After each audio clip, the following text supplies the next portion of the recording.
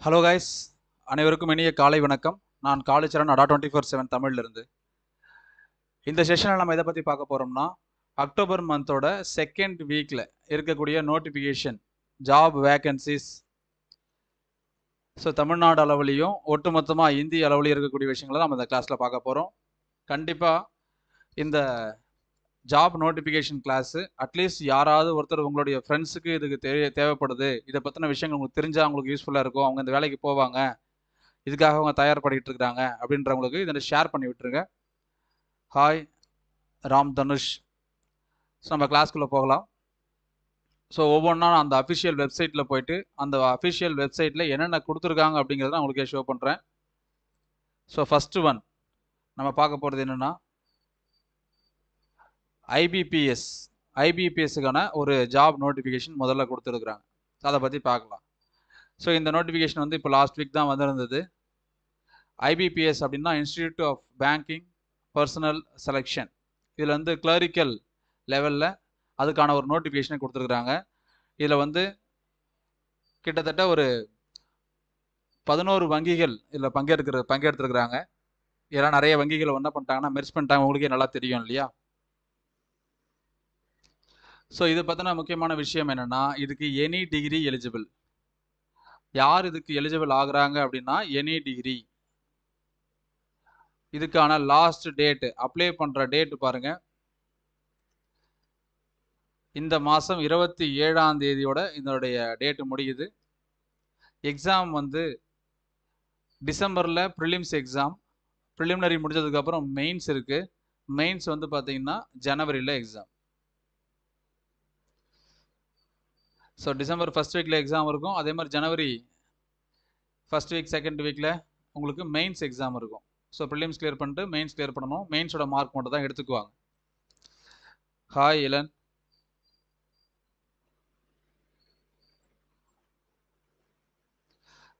so eligibility criteria நான் சொல்லிட்டு நான். எனி டிகிரி எலிஜிபிள் இருபது வயசுலேருந்து இருபத்தெட்டு வயசு வரைக்கும் தான் இதுக்கு எலிஜிபிள்னு கொடுத்துருப்பாங்க. அதுக்கப்புறம் ரிலாக்ஸேஷன் இருக்குது. எஸ்சி எஸ்டி அஞ்சு வருஷம் ஓபிசி மூன்று வருடம் டிடபிள்யூடி பத்து வருஷம் எக்ஸ் சர்வீஸ் மேனுக்கு ப்ளஸ் த்ரீ இயர்ஸ் கொடுத்துருக்குறாங்க.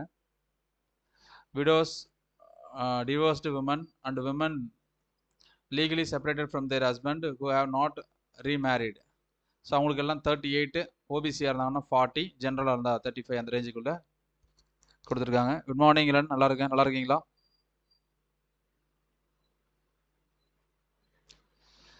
எஜுகேஷன் குவாலிஃபிகேஷன் எனி டிகிரி அதுவும் பிரச்சனை கிடையாது. ஆன்லைனில் அப்ளிகேஷன் நீங்கள் அப்ளை பண்ண ஸ்டார்ட் பண்ணிடலாம். டேட்லாம் கொடுத்துட்டாங்க ஓப்பன் ஆகிடுச்சு ஸோ அப்ளை பண்ணுறவங்க இமீடியட்டாக அப்ளை பண்ணிடலாம் அதுக்கு. இங்கே பார்த்தீங்கன்னா exam prelims exam English maths and reasoning இருக்கும். சரிங்களா? இதில் தேர்ட்டி இங்கிலீஷில் thirty five thirty five reasoning and மேக்ஸில் கொடுத்துருப்பாங்க. டோட்டலாக வந்து ஹண்ட்ரட் கொஸ்டின்ஸு ஹண்ட்ரட் மார்க்ஸு இதுக்கு செப்பரேட்டாக வந்து உங்களுக்கு தெரியும். டைம் தனித்தனியாக இருக்குது இருபது நிமிஷம் இங்கிலீஷுக்கு இருபது நிமிஷம் மேக்ஸுக்கு இருபது நிமிஷம் இங்கிலீஷ் இது ரீசனிக்கும் டைம் கொடுத்துருக்குறாங்க. ஒரு நல்ல விஷயம் சொல்லியிருக்காங்க. என்னென்னு பார்த்தீங்கன்னா அந்தந்த தேர்வுகளை வந்து இப்போ மொத்தமாக பதிமூன்று மொழிகளில் தமிழ் மொழியிலையும் நடத்துறதுக்கு முடிவு பண்ணியிருக்கிறாங்க. ஸோ ஐபிபிஎஸ் தேர்வு முதல் முறையாக தமிழ் நடக்க போகுது. சார் அப்போ இங்கிலீஷ் எப்படி சார் நடக்கும்னு கேள்வி கேட்காதீங்க. இங்கிலீஷ் கொஸ்டின் இங்கிலீஷ் தான் இருக்கும். மேக்ஸ் ரீசனிங் உங்களுக்கு என்ன பண்ணுவாங்க? தமிழ்லையும் வரும். அப்ளை பண்ணும்போது உங்களுக்கு தமிழ் கொடுத்தீங்கன்னா தமிழில் வரும். அடுத்தது மெயின்ஸ் மெயின்ஸுக்கு பார்த்தீங்கன்னா உங்களுக்கு ஜென்ரல் அவேர்னஸ் இருக்குது. English maths and computer knowledge reasoning இருக்குது. இதில் இங்கிலீஷ் அப்படிங்கிறது இங்கிலீஷில் மட்டும் வரும். மற்ற லாங்குவேஜ் எல்லாம் அந்தந்த ஸ்டேட்டோட லாங்குவேஜில் கொடுத்துருப்பாங்க. ஸோ எல்லாத்துக்கும் ஐம்பது கேள்வி நாற்பது ஐம்பது ஐம்பது மொத்தமாக நூற்றி தொண்ணூறு கேள்வி. மதிப்பெண்கள் பார்த்தீங்கன்னா உங்களுக்கு அப்படியே இந்த கம்ப்யூட்டருக்கு மட்டும் எக்ஸ்ட்ரா மார்க் டென் மார்க் கொடுத்துருப்பாங்க. உங்களுக்கு என்ன வருது? டூ ஹண்ட்ரட் மார்க்ஸ் வருது. இங்கே பார்த்தீங்கன்னா ஒவ்வொரு லாங்குவேஜ் எந்தெந்த ஸ்டேட்டுக்கு நம்ம தமிழ்நாட்டில் இருக்கோம் தமிழை பார்ப்போமா? இங்கிலீஷு ஹிந்தி தமிழ்லேயும் கொடுக்குறாங்க. ஸோ தேவை என்றால் நம்ம என்ன பண்ணலாம்? தமிழை பயன்படுத்தலாம். ஸோ வரப்பிரசாதம் இது ஐபிபிஎஸ் தேர்வு நிறைய பேர் வந்து இங்கிலீஷில் இருக்குது சார் எழுத முடியலன்னு ஃபீல் பண்ணிட்டு இருந்தவங்க தமிழில் கொடுத்துருக்குறாங்க. முதல் முறையாக வங்கி தேர்வுகள் தமிழில் நடைபெற உள்ளது. பயன்படுத்தி கொள்ளுங்கள். இதுதான் நம்மளுடைய முதல் ஜாப் நோட்டிஃபிகேஷன் ரொம்ப ரொம்ப ஒரு முக்கியமான நோட்டிஃபிகேஷன் கூட. ஐபிபிஎஸ் கிளரிக்கலுக்கான நோட்டிஃபிகேஷன் அடுத்தது நம்ம பார்க்க போகிறது என்னன்னா food safety and standards authority of India FSSAI இதில் கொடுத்துருக்க ஒரு ஜாப் டைரக்ட் ரெக்ரூட்மெண்ட்டு நோட்டிஃபிகேஷன் தான். ஸோ இந்த லிங்க் வந்து நம்மளுக்கு எப்போ முதல்ல லாஸ்ட் டேட்ன்றதை பார்த்துக்கலாம். அடுத்த மாதம் பன்னெண்டாம் தேதி வரைக்கும் நவம்பர் பன்னெண்டு வரைக்கும் இது லாஸ்ட் டேட் கொடுத்துருக்காங்க இது சிபிடி அதாவது computer based test online test தான் ஒன்று இருக்கும். அதன் பிறகு ஸ்டேஜ் டூ இருக்கும். ஸோ இதெல்லாம் ஃபர்தராக நம்ம வந்து அந்த வெப்சைட்டில் ஃபாலோ பண்ண சொல்கிறாங்க food analyst technical officer central food safety officer assistant manager IT assistant manager journalism or mass communication or public relation social work physics psychology labour and social welfare library science இந்த department படித்தவங்களாம் இது இந்த கேட்டகரிலாம் eligible assistant Hindi translator personal assistant IT assistant junior assistant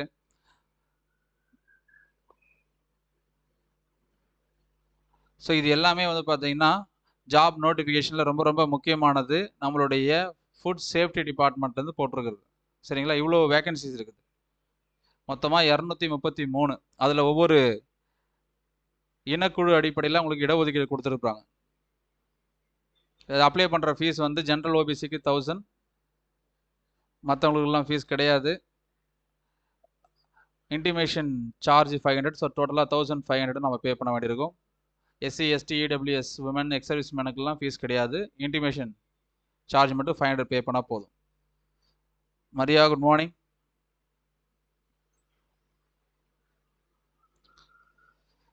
so எப்படி select பண்ணுறாங்கன்றத பார்த்துக்கோங்க. Food analyst written exam plus interview கொடுத்துருக்குறாங்க. Written exam எண்பத்தஞ்சு mark ரிட்டனில் பதினஞ்சு மார்க் இன்டர்வியூவில் பதினஞ்சு mark technical officer stage one stage two central food safety assistant manager IT assistant manager இதெல்லாம் சிபிடி ஒன் டூ ரெண்டு இருக்குது. Hindi translator assistant personal assistant IT assistant junior அசிஸ்டன்ட்லாம் CBT one மட்டும்தான் இருக்குது இது முழுக்க முழுக்க இந்த தேர்வு அடிப்படையில் எடுக்கிறது தான்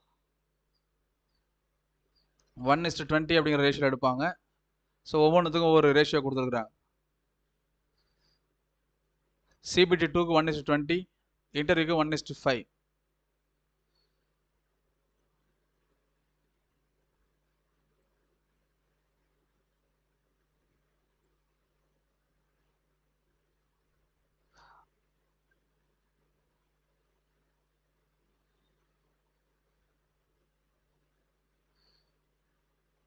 அடுத்தது எஜுகேஷன் குவாலிஃபிகேஷன் அவங்களுடைய எக்ஸ்பீரியன்ஸ் பற்றி கொடுத்துருக்குறாங்க. First name of the first person கொடுத்துருக்காங்க food analyst education and other qualification இவங்க பார்த்தீங்கன்னா chemistry biochemistry microbiology dairy chemistry food technology nutrition so இந்த மாதிரி டிகிரி எல்லாம் அவங்க ஏதாவது ஒரு டிகிரி இதில் ஏதாவது ஒன்று அவங்க படிச்சிருந்தா போதும். ஆனால் மாஸ்டர்ஸில் முடிச்சிருக்கணும். Master degree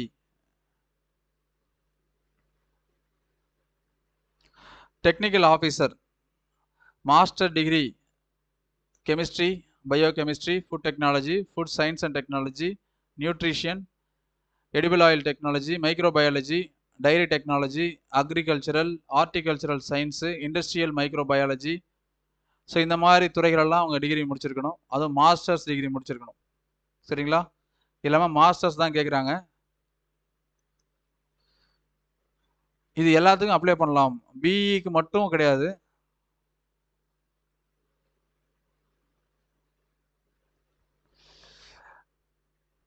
பிஇக்கு மட்டும் இல்லைப்பா. எல்லாத்துக்குமே இது பொருந்தும். இது வந்து இந்த நோட்டிஃபிகேஷன் கிடையாது. நான் சொன்னது முன்னாடி சொன்ன கிளரிக்கல் நோட்டிஃபிகேஷன் எல்லாத்துக்குமே பொருந்தும். இது இந்தந்த டிகிரி முடித்தவங்க மட்டும்தான் பொருந்தும். இந்த வீடியோவை ஃபுல்லாக பாருங்கள் அப்போ தான் உங்களுக்கு எந்தெந்த நோட்டிஃபிகேஷன்லாம் பொருந்தும்னு தெரியும். இங்கே பாருங்கள் PR BTech in food technology dairy technology bio technology இது முடித்தவங்களாம் அதுக்கு eligible central food safety officer அப்படின்னு பார்த்தீங்கன்னா ஃபுட் டெக்னாலஜி முடிச்சிருக்கணும்.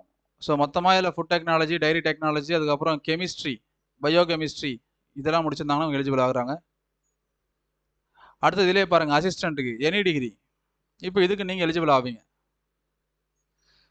ஹாய் மணிபாலன். இல்லைன்னா இப்போ இதுக்கு பார்த்தீங்கன்னா நீங்கள் இதுக்கு எலிஜிபிள் ஆவீங்க? இதில் கொடுத்துருக்காங்க இல்லையா? எனி டிகிரி அதே மாதிரி ஜூனியர் அசிஸ்டன்ட் கிரேட் ஒன்னுக்கு டுவெல்த் ஸ்டாண்டர்ட் தான். டுவெல்த் ஸ்டாண்டர்ட் நீங்கள் பாஸ் பண்ணியிருந்தாலே போதும்.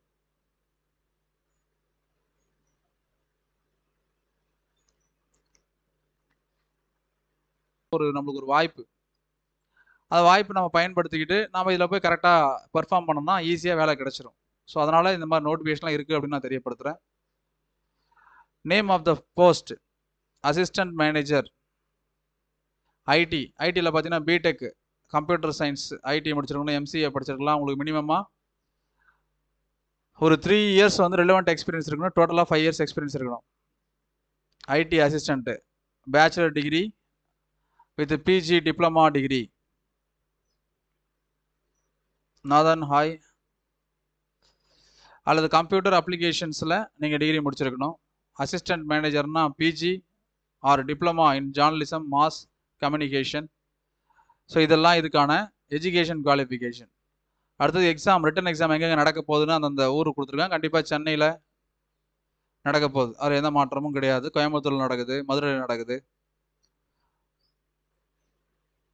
ஸோ மெயின்ஸ் அடுத்தது எங்கெங்கே நடக்கும்னு கொடுத்துருக்குறாங்க மெயின்ஸ் வந்து பார்த்தீங்கன்னா சென்னையில் நடந்திருக்கு.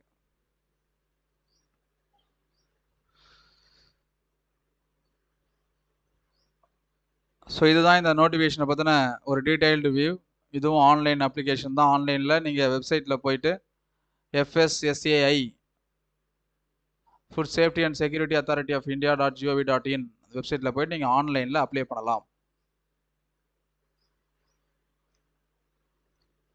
ஓகேங்களா so second notification food safety and security standards authority of இந்தியாவுடைய நோட்டிஃபிகேஷன் ரெண்டாவது மூன்றாவது CSIR central electrochemical research institute காரைக்குடியில் இருக்கிறது.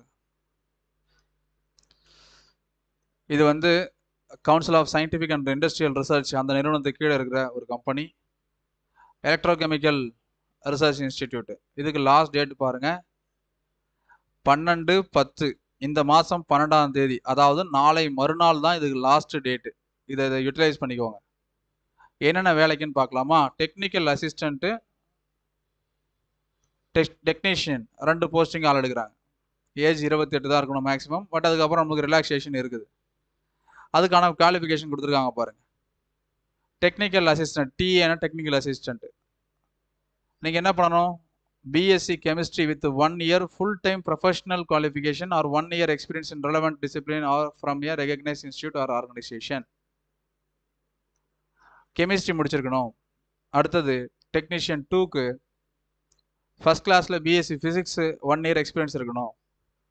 டெக்னீஷியன் த்ரீ ஃபஸ்ட் கிளாஸில் BSc micro biology one year experience இருக்கணும்.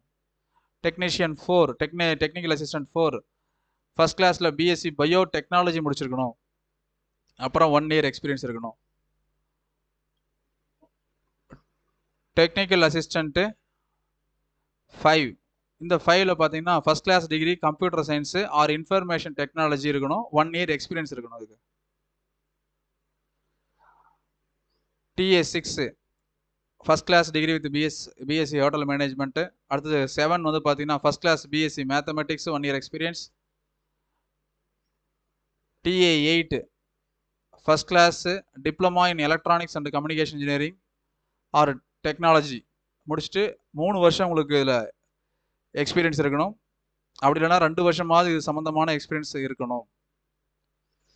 அதே மாதிரி diploma electrical diploma electronics diploma mechanical diploma refrigeration AC engineering civil engineering computer science or information technology engineering so diploma படித்தவங்களுக்கு நிறைய வாய்ப்புகள் இருக்குது.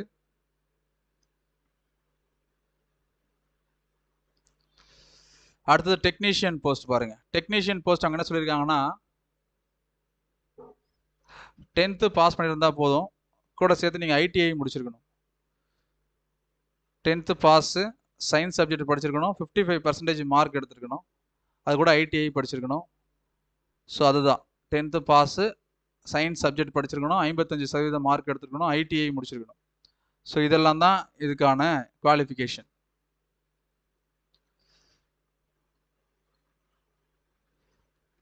So இதுக்கு யார் யாரெல்லாம் தகுதியானவங்களோ இதுக்கு அப்ளை பண்ணிவிடுங்க ஏஜ் ரிலாக்ஸேஷன்லாம் கொடுத்துருக்குறாங்க. ஒவ்வொரு கம்யூனிட்டிக்கும் வழக்கமாக கொடுக்குற மாதிரி ஏஜ் ரிலாக்ஸேஷன் கொடுத்துருக்குறாங்க. ஸோ மோட் ஆஃப் செலெக்ஷன் என்ன பண்ணுறாங்கன்னா நீங்கள் அனுப்புகிறீங்களா அப்ளிகேஷன் அதை வச்சு என்ன பண்ணுறாங்கன்னா முதல்ல ஷார்ட் லிஸ்ட் பண்ணிவிட்டு உங்களுக்கு ஸ்கில் ஆர் ட்ரேட் டெஸ்ட்னு கொடுப்பாங்க. நீங்கள் எந்த டிபார்ட்மெண்ட்டுக்கு போறியோ அந்த டிபா டிபார்ட்மெண்ட்டில் உங்களுக்கு ஸ்கில் டெஸ்ட் கொடுப்பாங்க. அடுத்தது ரிட்டன் எக்ஸாமினேஷன் கொடுப்பாங்க. எப்படி இருக்கும்னா மென்டல் எபிலிட்டி மேக்ஸ் இருக்கும் இங்கிலீஷ் இருக்கும் ஜென்ரல் அவேர்னஸ் இருக்கும். அதுக்கப்புறம் கன்சர்ன் சப்ஜெக்ட் நீங்கள் போகிறீங்களா டிபார்ட்மெண்ட் அந்த டிபார்ட்மெண்ட்டோடைய சப்ஜெக்ட் இருக்கும். ஸோ இதுக்கு இந்த ஆன்லைன் வெப்சைட்டில் W W W dot CECRI dot RES dot in அப்படிங்கிற வெப்சைட்டில் போயிட்டு இதை நீங்கள் அப்ளை பண்ணிடலாம். ஓகே ஸோ இதான் சென்ட்ரல் எலக்ட்ரோகெமிக்கல் ரிசர்ச் இன்ஸ்டிடியூட்டோட நோட்டிஃபிகேஷன் அடுத்தது. Indian oil corporation Indian oil கார்பரேஷனில் இருக்கக்கூடிய ஜாப் நோட்டிஃபிகேஷன் நம்ம பார்க்கலாம். ஸோ ஒவ்வொரு மாநிலம் மாநிலமாக பிரித்து கொடுத்துருக்காங்க. நம்ம டைரெக்டாக தமிழ்நாடுக்கு போயிடலாம்.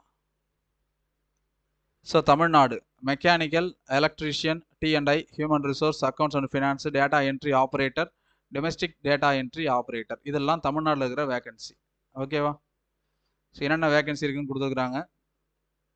ஓகே இந்தியன் ஆயில் கார்பரேஷனில் தமிழ்நாட்டில் இருக்கக்கூடிய வேகன்சிஸை நம்ம பார்க்கலாம். ஸோ ஒவ்வொன்றுத்துக்கும் என்னென்ன எஜுகேஷன் குவாலிஃபிகேஷன் ஒவ்வொன்றுத்துக்கும் தனித்தனியாக கொடுத்துருக்குறாங்க. டெக்னீஷியன் அப்ரெண்டிஸ் மெக்கானிக்கல் நீங்கள் ஐடிஐ படிச்சிருக்கலாம் அப்படிலாம் டிப்ளமா படிச்சிருக்கலாம். நீங்கள் எலிஜிபிள் ஆகுறீங்க mechanical ஆட்டோமொபைலுக்கு technician apprentice electrical three years course நீங்கள் படிச்சிருக்கலாம் அல்லது வந்து ஐடிஐ முடிச்சுட்டு நீங்கள் டிப்ளமோ படிச்சிருந்தாலும் எலிஜிபிள் தான். டேரெக்டாக டிப்ளமோ படிச்சிருந்தாலும் எலிஜிபிள் தான். Electrical engineering electrical electronics engineering telecommunication இன்ஸ்ட்ருமெண்டேஷன்ஸுக்கு அது இசிஇ இஎன்ஐ எலக்ட்ரானிக்ஸு எலக்ட்ரிக்கல் எது படிச்சிருந்தாலும் இதுக்கு நீங்கள் எலிஜிபிள் ஆகுறீங்க. த்ரீ இயர்ஸ் டிப்ளமா கோர்ஸ் நீங்கள் முடிச்சிருந்தா எலிஜிபிள் ஸோ இது எல்லாமே யாருக்காக அப்படின்னு பார்த்தீங்கன்னா சொன்ன வரைக்கும் டிப்ளமாக்கு அடுத்தது பாருங்கள் full time bachelor degree any degree human ரிசோர்ஸுக்கு trade அப்ரண்டிஸுக்கு full time bachelor degree in commerce காமர்ஸில் படித்தவங்க மட்டும் எலிஜிபிள் டேட்டா என்ட்ரி ஆப்ரேட்டருக்கு டுவெல்த்து பாஸ் பண்ணவங்க eligible domestic data entry operator skill certificate ஹோல்டர்ஸுக்கு twelfth முடிச்சிருக்கணும். அது கூட சேர்ந்து அரசு ஒரு என்ன பண்ணணுன்னா skill test national skill qualification சொல்லிட்டு ஒரு சர்டிஃபிகேட் கொடுத்துருப்பாங்க. அதை வச்சுருந்தவங்க இதுக்கு எலிஜிபிள் ஆவாங்க.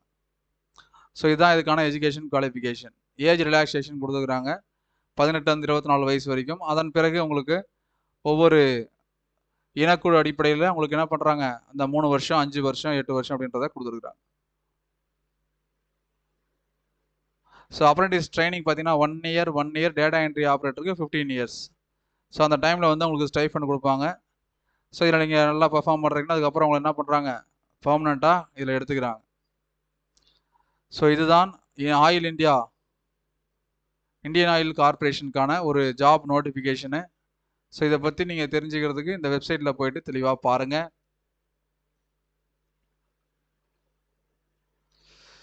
இந்தியன் ஆயில் கார்பரேஷன் லிமிடெட் அடுத்தது நம்ம பார்க்குறது இந்தியன் ஆர்மி எஸ்எஸ்சியில் டெக்னிக்கல் மென் அண்டு விமன் எடுக்கிறாங்க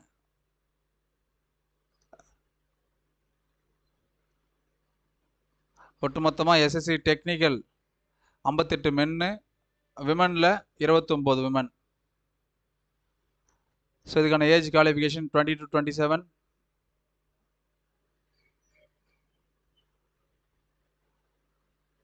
so நீங்கள் போகிற அந்த பொசிஷனை பொறுத்து ஒவ்வொருத்தருக்கும் என்ன பண்ணுறாங்கன்னா என்னென்ன டிபார்ட்மெண்ட் நீங்கள் படிச்சிருந்தா எலிஜிபிள் அப்படின்னு சொல்லிட்டு எஜுகேஷன் குவாலிஃபிகேஷன் கொடுத்துருக்குறாங்க. So IT ECE triple E satellite communication electronics microbiology microwave remote sensing so அப்படின்னு எல்லாத்தையும் எது எதில் வேகன்சி இருக்குன்னு எல்லாத்தையும் கொடுத்துருக்காங்க. அடுத்தது ஈக்குவலண்ட்டு ஸ்ட்ரீம் இப்போ சிவில்னால் நான் சிவில் மட்டும் தான் எலிஜிபிள் கிடையாது. அதில் civil civil structural engineering building engineering and construction இது எல்லாமே இதுக்கு எலிஜிபிள் தான். ஸோ எல்லாத்துக்கும் இருக்கிற வேகன்சிஸை பற்றி கொடுத்துருக்குறாங்க. இதுவே டெக்னிக்கலில் ஒரு வேகன்சி இருக்குது அது BE BTech any stream eligible non technical ஒரு வேகன்சி இருக்குது. கிராஜுவேஷன் எது ஏதாவது டிகிரி முடிச்சிருந்தாலே போதும் நீங்கள் எலிஜிபிள் ஆவீங்க.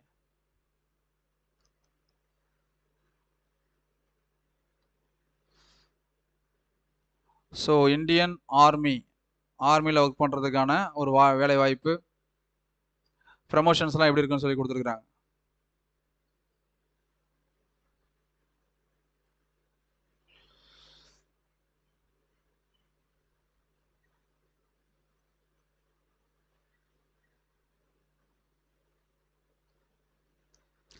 ஸோ இந்த நோட்டிஃபிகேஷன் எஸ்எஸ்சி அப்படிங்கிற வெப்சைட்டில் போயிட்டு கரெக்டாக பாருங்கள் யார் யாரெல்லாம் இதுக்கு எலிஜிபிள் ஆகுறீங்களோ அவங்க அப்ளை பண்ணிடலாம். அடுத்தது அண்ணா யூனிவர்சிட்டி சென்னை. சென்னையில் இருக்கக்கூடிய அண்ணா யூனிவர்சிட்டியுடைய வேலைவாய்ப்பு. அது கேம்பஸ் ஆகிற கிண்டி கேம்பஸ் ஆகட்டும் college of engineering Alagappa college of technology Anna university administrative block MIT campus Madras institute of technology அடுத்தது school of architecture and planning campus இது எல்லாத்துக்கும் சேர்த்து ரெக்ரூட்மெண்ட் பண்ணுறாங்க assistant professor assistant university librarian grade ஒன்று இதெல்லாம் ஆள் எடுக்கிறாங்க. ஸோ இதுக்கான நோட்டிஃபிகேஷன் கொடுத்துருக்குறாங்க. அண்ணா யூனிவர்சிட்டி வேலை வாய்ப்பு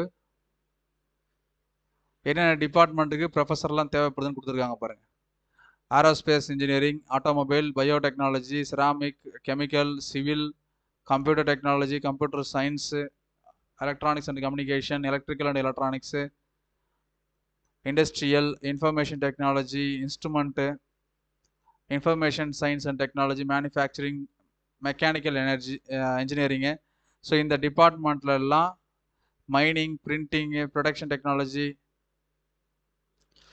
so இதில் எல்லாத்துலேயும் என்ன பண்ணுறாங்கன்னா ஆள் எடுக்கிறாங்க. இந்தந்த டிபார்ட்மெண்ட்டில் முடிச்சிருந்தவங்க டிகிரி வச்சுருக்கீங்கன்னா eligible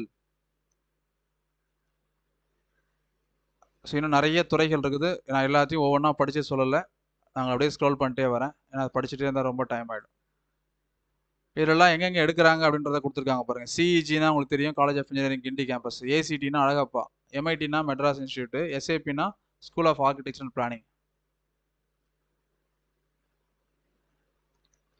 so engineering and technology ஒரு ஒரு நான் ஒரே ஒரு துறை மட்டும் சொல்கிறேனே நான் உங்களுக்கு சிம்பிளாக உங்களுக்கு புரிகிற மாதிரி இன்ஜினியரிங் அண்ட் டெக்னாலஜி நாம் எடுத்துக்கலாம் BE BTech ME MTech in a relevant branch of the engineering and technology first class in UG and first class in PG and PhD is relevant area specialized specialization post doctoral experience is desirable அப்படி இல்லைன்னா BE BTech UG அல்லது PG MSc first class or not less than seventy percentage எடுத்திருந்தாங்கன்னா eligible PhD முடிச்சிருந்தாங்கன்னா eligible டிப்ளமாக்கு தான் முன்னாடி சொல்லியிருந்தேன். Video first வந்து பாருங்கள் ஆர்கிடெக்சரல் டவுன் பிளானிங்கு ஸோ இந்த மாதிரி ஒவ்வொரு துறைக்கும் ஒரு வேலை வாய்ப்பு இருக்குது. இது போக அடுத்து நம்ம லைப்ரரி டிபார்ட்மெண்ட் பார்க்கலாம். First class bachelor degree in any discipline and first class master degree in library science information science documentation science or any equivalent library professional degree with knowledge of computer computerization of library and PhD in relevant area of specialization. இதுதான் நம்மளுடைய அண்ணா யூனிவர்சிட்டியோடைய வேலை வாய்ப்பு இதுக்கு அவங்க என்ன பண்ணுறாங்கன்னா mode of selection uh, வந்து first ஒரு எக்ஸாம் வைக்கிறாங்க. அந்த எக்ஸாம் முடிஞ்சதுக்கப்புறம் ஒரு ஃபஸ்ட் ரிட்டன் ரிட்டன் டெஸ்ட்டு அதுக்கப்புறம் இன்டர்வியூ இருக்குது. இதை கிளியர் பண்ணுறோன்னா அண்ணா யூனிவர்சிட்டியில் வேலை வாய்ப்பு.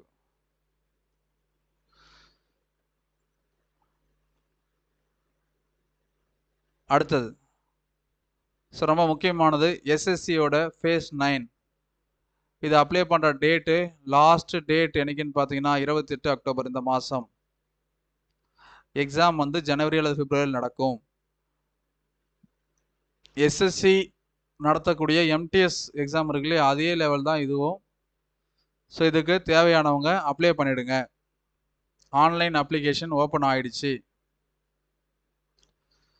இதுக்கான ஏஜ் லிமிட் ஏற்கனவே சொல்லியிருந்தோம். அது மட்டும் இல்லாமல் உங்களுக்கு ரிலாக்ஸேஷன் கொடுத்துருக்குறாங்க. அஞ்சு வருஷம் மூன்று பத்து பதிமூன்று பதினைந்து வருடங்கள் ஒவ்வொரு இனத்துக்கும் ஒவ்வொரு மாதிரியான age relaxation upper age relaxation கொடுத்துருக்குறாங்க.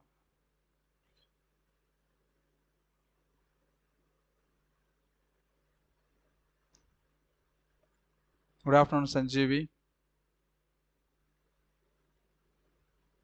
so SSC GD கான்ஸ்டபிளுக்கு இன்னும் அப்ளை பண்ணாமல் இருந்தீங்கன்னா இமீடியட்டாக அப்ளை பண்ணிவிடுங்க SSC dot nic dot IN அப்படிங்கிற வெப்சைட்டில் போய்ட்டு அப்ளை பண்ணலாம். ஸோ வழக்கம் போல் அதுக்கு ஒரு ரிட்டன் எக்ஸாம் இருக்கும். ரிட்டன் எக்ஸாம் கிளியர் பண்ணிட்டீங்கன்னா உங்களுக்கு அடுத்தது வேலை வாய்ப்பு எந்தெந்த பகுதியில் எக்ஸாம் நடக்குது அப்படின்னு கொடுத்துருக்குறாங்க. அந்த பகுதியெல்லாம் பார்த்துக்குங்க. சிலபஸ் பாருங்கள் general awareness ten plus two higher secondary லெவல்னு கொடுத்துருக்குறாங்க. ஜென்ரல் இன்டெலிஜென்ஸு அதாவது நம்மளுடைய அந்த ரீசனிங் அப்படின்னு சொல்லுவாங்கள்ல அது. அடுத்தது general awareness science social science இதெல்லாம் வர்றது. அடுத்தது ஆப்டிடியூட் நெக்ஸ்ட்டு இங்கிலீஷ் நாலு பார்ட் இருக்குது. ஸோ இதில் நிறைய துறைகள் மாற்றி கொடுத்துருக்காங்களா? சிலதெல்லாம் கிராஜுவேஷன் லெவலில் இருக்குது. ஸோ ப்ளஸ் டூ முடிச்சவங்களுக்கும் வேலை வாய்ப்பு இருக்குது கிராஜுவேஷன் அண்ட் அபோவ் லெவலும் இருக்குது. ஸோ அதுவே இதே தான் சிலபஸ்ஸு பட்டு அந்த டிகிரி ஸ்டாண்டர்ட் டுவெல்த் ஸ்டாண்டர்ட்ன்றது மட்டும் மாறும்.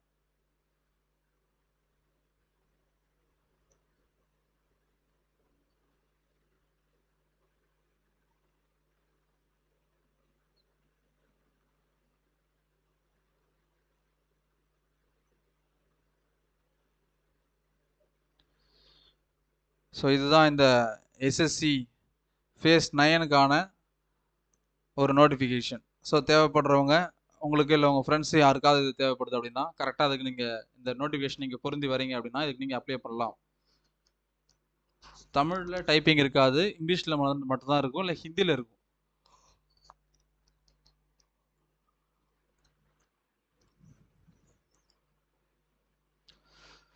ஸோ நான் முதல்ல பார்த்தது ஐபிபிஎஸ் அடுத்தது பார்த்தது food safety and standards authority of India மூணாவது சிஎஸ்ஐஆர் நாலாவது Indian oil Indian oil corporation ஐந்தாவது பார்த்தது இந்தியன் ஆர்மி ஆறாவது அண்ணா யூனிவர்சிட்டி ஏழாவது SSC phase nine selection so இந்த நோட்டிஃபிகேஷன் எல்லாம் உங்களுக்கு இல்லை உங்கள் ஃப்ரெண்ட்ஸ் யாருக்காவது தேவைப்படுதுன்னா அவங்களுக்கு தெரியப்படுத்துங்க.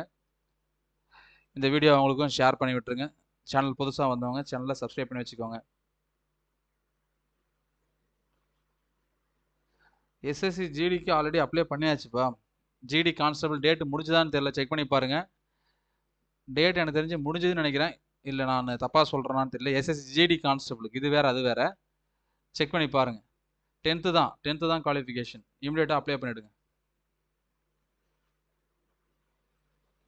ஓகே சரிப்பா. Thank you.